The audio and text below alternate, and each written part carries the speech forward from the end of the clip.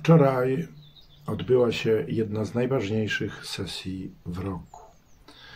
Yy, Rada Miejska podejmowała uchwałę o wotum zaufania dla burmistrza, o absolutorium i w ogóle miała być debata o stanie gminy.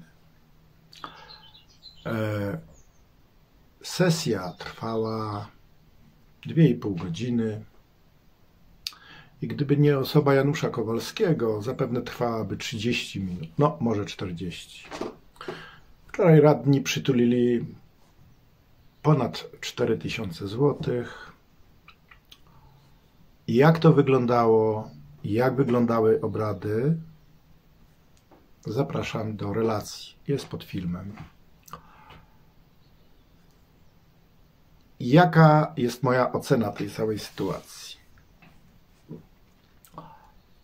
Po pierwsze, totalna ignorancja władzy burmistrza, Rady Miejskiej, przewodniczącego do oceny spraw naszego miasta i gminy. Nie zostały zaproszone organizacje pozarządowe na to posiedzenie. Nie byli zaproszeni sołtysi, nie był zaproszony samorząd mieszkańców. W porządku obrad wczoraj, gdyby przyszli mieszkańcy, nie mogliby zabierać głosu. Tak zadbał o to przewodniczący Rady Miejskiej Mirosław Opok. Jak pamiętamy, na czerwcowej sesji 1 czerwca pan burmistrz zaprosił mieszkańców. No, głównie dlatego, że był czytany wyrok. Przyszły, przyszli najbardziej zaufani pana burmistrza, przyszła przewodnicząca Monika Arbus. Wczoraj, gdzie była debata na temat stanu naszej gminy, nad przyszłością naszej gminy, nad ludźmi, nad mieszkańcami, nie było nikogo. Jak zachowywali się radni? Jeszcze raz powtarzam. Proszę słuchać relacji. Otóż, e, przygotowując się do tej e, wczorajszej sesji, kilka tygodni temu zwróciłem się do pana Mirosława Opoki, przewodniczącego Rady Miejskiej, aby przesłał mi i radnym orzeczenie e, Rzecznika Dyscypliny Finansów Publicznych który uznał burmistrza Artura Pomianowskiego winnym naruszenia dyscypliny finansów publicznych. Chodziło o inwestycje przebudowa drogi Parchatka z Będowicy. Chodziło o wadium, które nie zostało zatrzymane w kwocie 70 tysięcy złotych.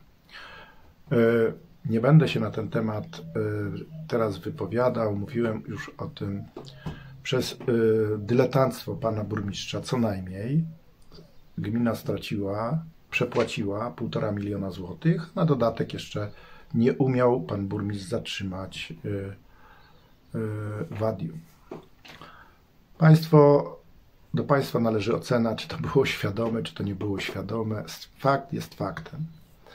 Niestety w sposób cyniczny pan burmistrz, pan przewodniczący na polecenie e, zaplecza politycznego pana burmistrza zignorował temat a my, a sprawa dotyczy 2021 roku. Ocena, również orzeczenie było prawomocne w 2021 roku. Pan przewodniczący otrzymał ten dokument w lipcu ubiegłego roku po to, żeby dopilnował, żeby to orzeczenie znalazło się w aktach osobowych burmistrza. I od razu podnoszę temat. Pamiętacie Państwo sprawę Pawła Maja, prezydenta Puław, tam chodziło o 5 tysięcy złotych. Rzecznik dyscypliny uznał go winnym. Uznał go winnym. Jakie było larum? Tu 70 tysięcy i cisza. Rozumiecie Państwo?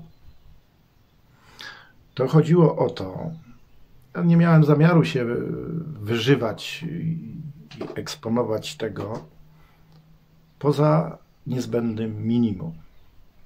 Chodzi o to, że burmistrz nie ma pojęcia o przygotowywaniu inwestycji.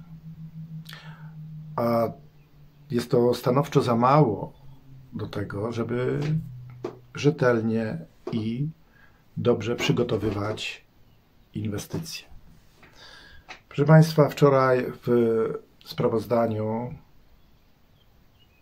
burmistrz powiedział, że przebudowa e, Górnej Puławskiej będzie kosztowała 4 miliony złotych. To o 3 miliony więcej niż zakładano. E, przetarg wygrał Dominik Figura. Do sprawy się odniosę szerzej, jak zdobędę dokumenty. E, muszę przeanalizować to, co jest na, na BIP-ie.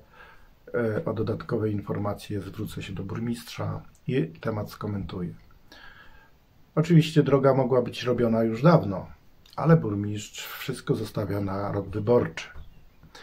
Niestety, patologia w samorządach jest od Tatr po Bałtyk, od Bugu po Odrę. W bezmyślności, w niegospodarności, w dyletantstwie co roku toną w błocie miliardy złotych polskiego podatnika. Nie inaczej jest też u nas w naszej gminie.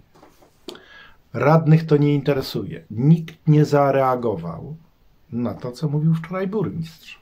Nikt, kompletnie. Wczoraj, jak mówiłem, miał być ocena burmistrza, ocena działalności burmistrza przez za 21 rok. A tak naprawdę oceniany był Janusz Kowalski. Z takiego pobieżnego podsumowania y, moje nazwisko wybrzmiało 11 razy. Przez radnych, przez burmistrza Godleskiego, Pana burmistrza Artura Pomianowskiego ani razu.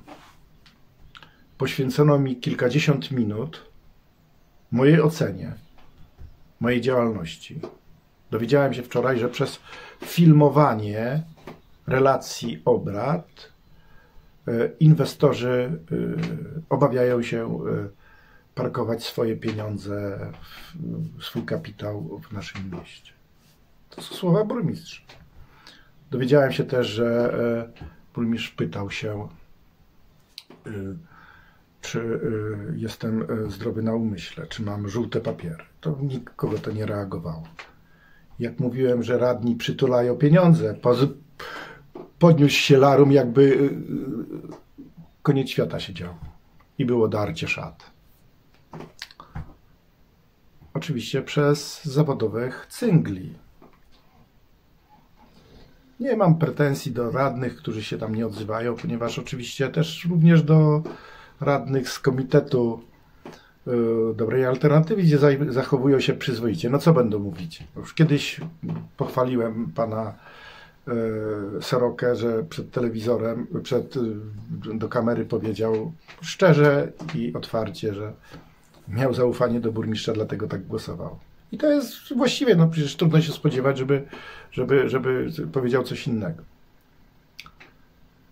Ale na przykład bardzo nerwowo reaguje pan e, przewodniczący Komisji Rewizyjnej Jakub Pruchniak. No ja wiem dlaczego.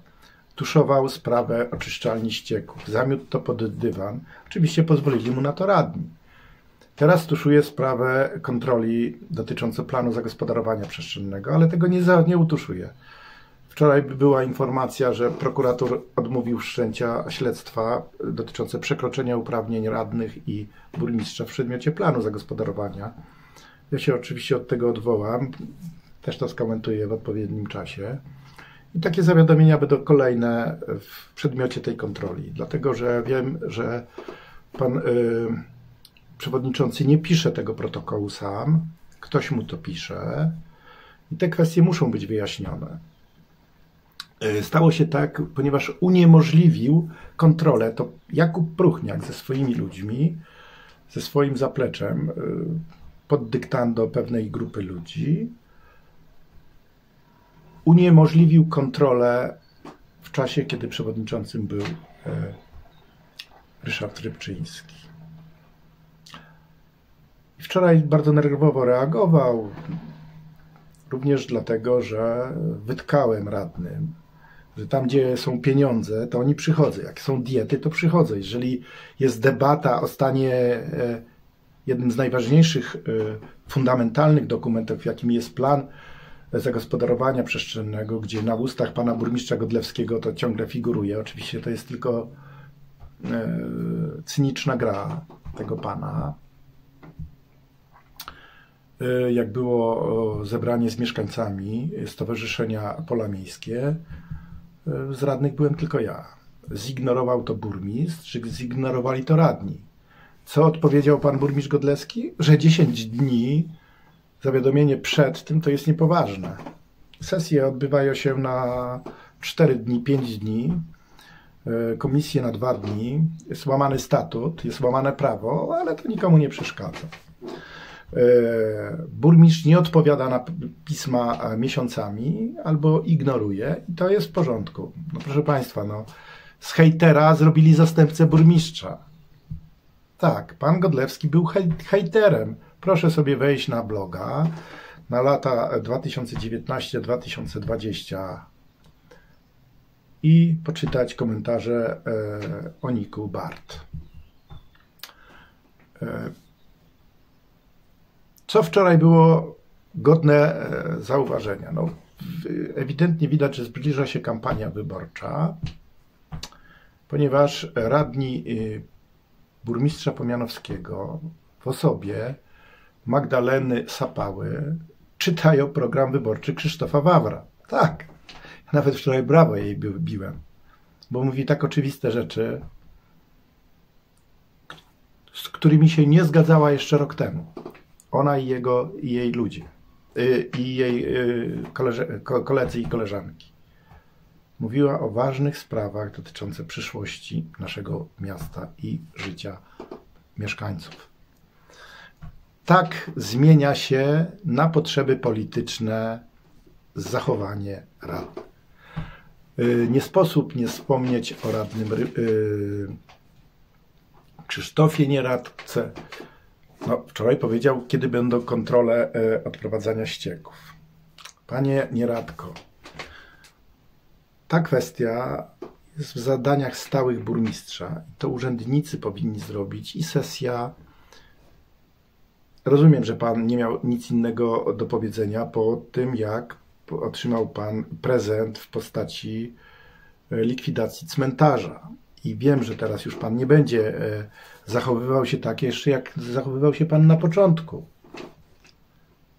Rady Miejskiej, mimo że pan został już przejęty, ale pan się jeszcze potrafił zachować. Czyli poruszał pan tematy istotne.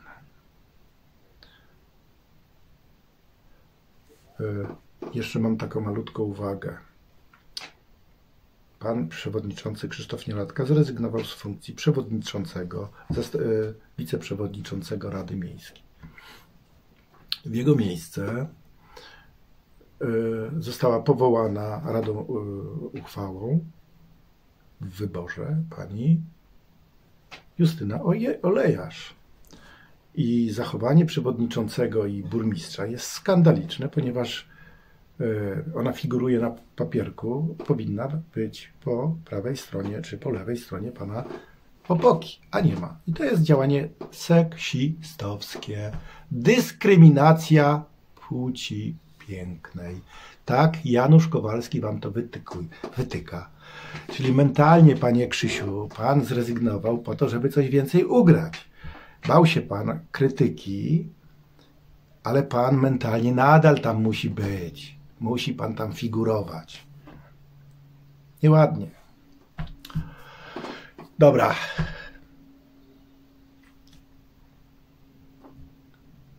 Proszę Państwa, wczoraj kilkakrotnie pan burmistrz Godlewski zarzucił mi, że jestem odpowiedzialny za brak planu. Konsekwencje z tego wyciągnę. przyszłości zorganizujemy, jeżeli radni się nie zgodzą, z organizacjami pozarządowymi. Zrobimy zebranie. Liczyłem na samorząd mieszkańców. Niestety, tak jak już mówiłem, pani Monika Arbus no nie angażuje się w sprawy miasta. To, co robi, jest stanowczo za mało. Jest statut i tam są pewne obowiązki, pewne kluczowe sprawy dla mieszkańców i mieszkańcy powinni dowiedzieć się, co jest szykowane w planie zagospodarowania przestrzennego. I to kwestię poruszę na wspólnym spotkaniu z mieszkańcami. Zrobimy takie zebranie, zaprosimy media, oczywiście nie licząc na to, że tam coś tego, ale zrobimy to bardzo transparentnie ponieważ Rada nie chce się tym zajmować. Jak już powiedziałem, radny Pruchniak tuszuje plan zagospodarowania, kontrolę planu zagospodarowania przestrzennego. E, nie wiedzą, jak, jak to zrobić. No, bali się, że w przypadku, kiedy radny Rybczyński, bo on chciał to dokończyć, my byśmy to dokończyli w czasie, kiedy jeszcze uczestniczyłem w tych spotkaniach, ale po, ponad roku pan e, e, Jakub Pruchniak nie organizuje spotkań, po prostu zamiótł to pod dywan. Mm, zaplecze pana burmistrza przygotuje protokół i ta sitwa to przegłosuje, czyli radni. E, sitwa Towarzystwa Biznesowo-Polityczno-Towarzyskiego. E, natomiast na ile będę mógł, będę starał się, żeby te działania były bardzo transparentne. Wszyściutko. Zrobimy tak, jak w książce pisało. E, zapraszam Państwa do komentowania i odsłuchania bardzo wnikliwie obrad wczorajszej sesji. To jest naprawdę bardzo e, ciekawa lektura. Na przyszłość burmistrz Godlewski mówił, że no, ta taka ocena radnych to jest potrzebna do potem dla mieszkańców do wyborów. Właśnie, proszę sobie się zwrócić, zwrócić, proszę Państwa, uwagę na to, jak zachowują się radni, co mówią, e, co jest istotne i tak dalej, i tak dalej. Na koniec powiem, że wczoraj był miły akcent, bo pani skarbnik otrzymała podziękowania i kwiaty. Tak, to jest jedyna rzecz, która e, należy podkreślić, że rzeczywiście te kwiaty się jej należały. Dlaczego? Dlatego, żeby e, tak konstruować ten budżet i żeby nie, burmistrz nie dał ciała, to naprawdę wymagało to wielkiego wysiłku od pani skarbnika. Dziękuję.